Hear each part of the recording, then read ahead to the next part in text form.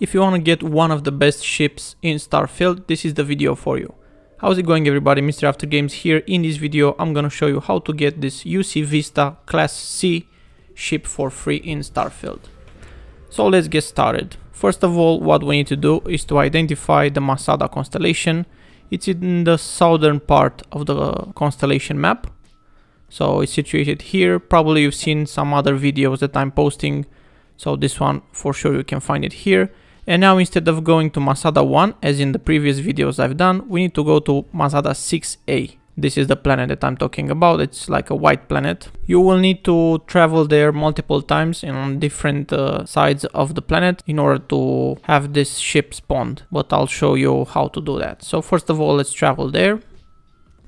Once you land, you need to hear a bang. If you don't hear it in the first seconds while you, after you landed, just uh, go on a different side of the planet in order to to travel there. So as you can see, I didn't hear it, so I want to try to to go on a different uh, spot to to land on a different different landing area. As I, I chose uh, this spot. Now what you need to do is to hear a bang. Just listen carefully. If you hear the bang, just look on the sky and you will see a ship landing. This is the one that I, I was thinking that it's a it's a big ship. So look on the sky for incoming ship. Once you see the ship, go for it. Try to get there as quickly as possible. Hopefully you have the gymnastic skills level, leveled up and your jetpack skills leveled up as well.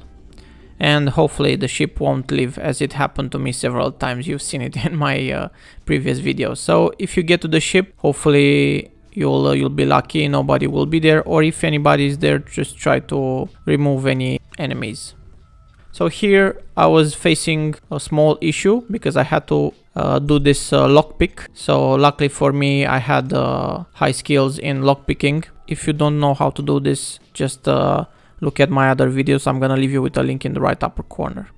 Once you are on the ship, just uh, climb this ladder here. And once, once you're on the main deck, just go inside. It's like a freaking maze here. Just uh, try to find another hatch after you've seen the hatch, just open it up and then climb the ladder in front of you. Hopefully you'll get to this point in order to get to the next uh, level.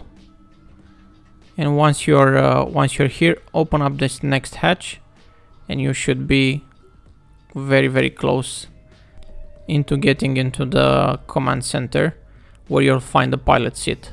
I was uh, anxious a bit after I found it because I was thinking fingers crossed I, I'll have uh, the ability to fly this uh, huge ship.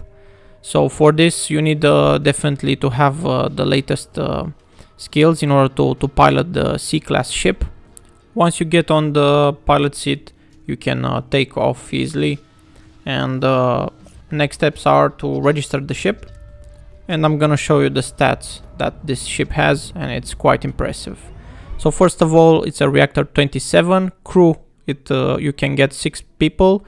Jump is 28 light years which is really awesome. Shield is 1440 and the ship if you want to sell it it will cost it will uh, give you around 42 to 40k thousand.